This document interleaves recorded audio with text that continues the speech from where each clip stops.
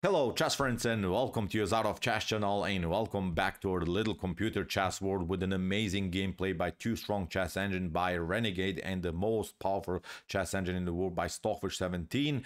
With this video we're actually continuing our mini series where Stockfish is playing with the black pieces because a couple of days ago we have covered really great defense uh, played by the fish against the English opening yesterday. We saw a very very spectacular game played by Stockfish with the black pieces against the Jobava London system Today's repertoire will be the Nimzo-Indian defense performed here by the fish with the black pieces. And again, it's a great game of great theoretical value where Stockfish will play gr great opening and then great middle game strategies, but then also epic, really spectacular uh, endgame tactics. So put your seatbelts on and enjoy again in a really, really crazy gameplay by Stockfish 17. So let's see now what happened with White here. Renegade opened with the move c4. The game started as a uh, as an English opening. We have the Agincourt defense, but after a couple more moves, we have the transposition uh, into the three knights variation of the Nimzo-Indian defense. Stockfish plays now the move b6. Uh, basically, in the beginning, the move order of blacks is a competition for the e4 square. Uh, all of the moves are doing something, uh, maybe not some moves directly, but indirectly, it's really, really battle for e4 square. The knight is pinned, uh, which is controlling the e4 square. The knight on f6 is controlling the e4 square, and now Stockfish is preparing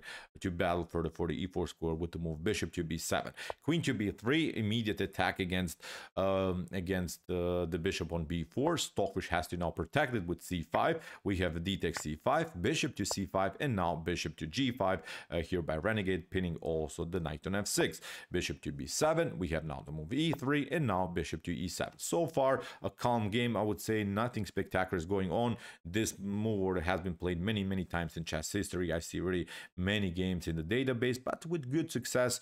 Uh, I see for black many drawish games, many also winning games uh, by black. So so far, uh, standard theory, standard line of um, of the Nimzo-Indian defense. We have bishop to e2, knight to a6 by the fish, going for the c5 square, calcing, and now knight to c5. Queen drops back, and now Stockfish occupies the square that we have discussed. Uh, now Stockfish has a great grip around the square e4. Knight takes e, we have bishop takes e4, and the queen drops back uh, with two uh, to a4. And in this particular moment, we have now theoretical novelty, a move that we haven't seen so far in chess history. Stockfish plays queen to c7, and Renegade goes uh, uh, here with knight to d4, hopes to get an activity maybe with knight to b5, and hoping maybe to occupy somehow the weak d6 square in white uh, in black's position. Now Stockfish makes a great move, I would say. Kingside castling, which is, as I said, an equal game, but it's a provocative move because many of us, I think, with the white pieces would play moves like a queen to b5. But queen to b5 actually is not so good because of this counterattack. Queen to c6, we hit simply the weak pawn on g2, and now after something like uh, uh, f3, there is still this resource. Queen to c5, notice that the bishop is a little bit loose, it's a little bit misplaced.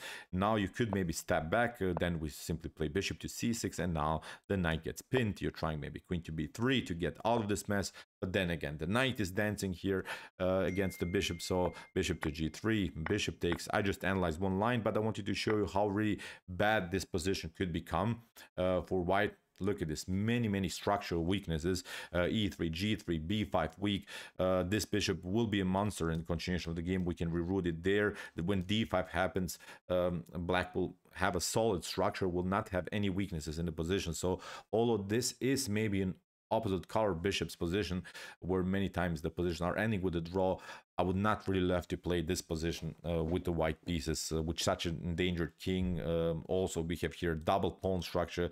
Uh, black can create maybe here passer. So many, many position problems. So that's why after castling, uh, there's no time for knight to b5. That's why uh, Renegade anticipated uh, Stockfish possibility of the move queen to c5. And that's why bishop to a, um, bishop to h4, perfectly fine move here by white. a6, now finally Stockfish prevents knight to b5, queen to b3, and now rook from f to c8 rook from uh, a to c1 we have now tension uh, on the c file. If something clears on the c file the queen could be in danger. And now stockfish noticed a tactical problem uh, here in the position. Obviously there is this tension on the C file, but Stockfish is saying, I have already a battery on the C file. I'm going to open this position with the move B5. Uh, here, Renegade step uh, attacks now the bishop. The Stockfish uh, drops back, and now a huge decision uh, here by Renegade, we have now the move c takes b5. And what white is hoping for is to get a position where white will have two connected pass pawns on the queen side, which is really risky choice that Stockfish did here. I mean, human level, I'm not sure how many of us would dare to play this move uh, b5. But look at this. Here Stockfish took. Give up now. Give up now the queen for two rooks, which is a good good trades of pieces now after king to f2 we have a takes b5 we have now queen to b5 and you see now the tactical and positional problems now for for black white has created now two connected pass pawns on the queen side the queen is still on the board um, there are still the issues of the king, of course. The king is a little bit endangered, and black has also some worries here, maybe with the king uh, on, on G 8 If you move the rook, there are maybe some problems on the back rank. But the two connected pass pawns would bother me for sure. I'm not sure if I would love to play now this position uh, with the black pieces. Although the evaluation is slightly better for black, but it's a complicated, complicated game for sure, uh, where white is simply marching now with the pawns. Let's see now how Stockfish handles this position. Stockfish creates, first of all, breathing spaces for the king because uh, Stockfish wants to play freely with the rook and it's now threatening, of course, uh, the move rook takes uh, rook takes a2. That's why a4 here by renegade and now b3. Renegade keeps now uh, this pawns connected and of course wants to push them further. Rook to a2, the bishop gets pinned and now Renegade gets out of the potential attack on the second rank. Rook to c8, Stockfish includes now a new piece into the game and is hoping to maybe somehow in long terms play the move e5, kick away the knight from the square uh, c2 and then create a really uh, a great battery of the rooks here on the second rank. Bishop takes f6, bishop takes f6, bishop to c4, renegade locks out now uh, the c file, stockfish continues now with d5, and I think from this point on, um, black is really the initiative because although there are two connected pass pawns, as, as we mentioned, it's hard to let them roll. It's hard to activate them. Stockfish is now giving simple threats um, to white, and White is, is always on the reacting side, not on the acting side. So here, first of all, queen to a6, good move, I would say here by Renegade, force and now a reaction. Now, finally, a Stockfish has to step back with the rook. Here we have uh, bishop to a6. Renegade is hoping now already to clear the b file and push the pawn further. Bishop to e5, first a check, king drops back to h3, and now h5. Good move by the fish, which is not allowing moves like uh, maybe here g4 to happen. There's always also the threat of a potential checkmate uh, here on h2. Very, very nasty, nasty already uh, tactical preparation by, by the fish. Queen to c5, again hoping to let this pawn roll on the b file. Bishop to f6, we have now a5, and now bishop takes d4. That's the move that Stockfish has waited for, that the queen is somehow overloaded to the defense of the knight and also to the defense of the pawn, because if you play queen to d4, then the pawn is hanging, so this move bishop takes d4 forces now uh, here renegade to take with the e pawn. Now Stockfish continues now with bishop to f5. Uh, we have a check g4, h takes g4, we have f takes g4, and now bishop to e4. And Stockfish has now a great, great activity with the bishop, with the rook, and the only thing that we need to do is somehow include this other rook into the game. It's a tough quest.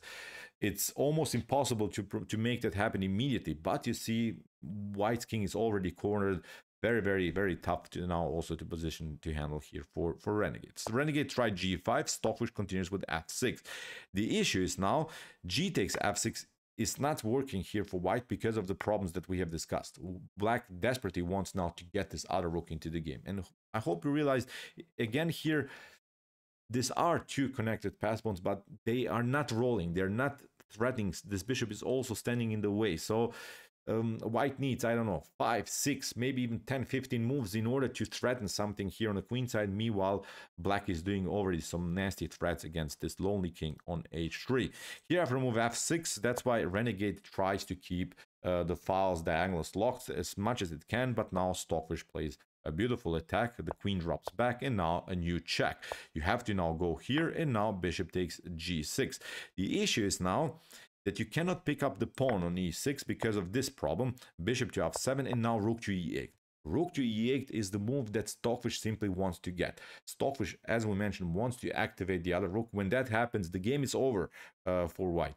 That's why after bishop to g6, uh, Renegade plays now h4. Stockfish is playing now bishop to f5. Uh, here we have king to uh, f4 and now bishop to h3. Look how um, the white king is cut off now. The third rank is occupied. You cannot step back with your king. And stockfish is hoping now to get the e5 move. That's why renegade has to play bishop to b5 has to prevent this move rook to e8 for instance if you try h5 then rook to e8 is coming with a huge threat. e5 could be even a checkmate or maybe you're trying bishop to b7 uh, to not lose your pawn on b3 because bishop to b5 disconnects uh, the queen to the pawn. But again, rook to e8 with the threat of e5. Uh, very, very nasty stuff to handle. So that's why bishop to b5 only move uh, here for for renegade to keep somehow the position locked here to keep somehow the uh, king secure but now rook takes b3 this pawn is very important stockfish grab now one of these uh, two connected pass pawns and now queen to c6 and now a brilliant idea e5. Now the position is exploding uh, here in the center of the board. Uh, d takes e5, f takes e5 comes with the check. Mission accomplished. Finally, this rook is coming into the game. Rook to f5, king to d4, rook to f4. The issue is now uh, you cannot step back with your king here because rook to uh, rook to c3 uh, wins the queen of course it's game over. So that's why king to e5 had to be played and now rook to e4 again a brilliant move here by the fish.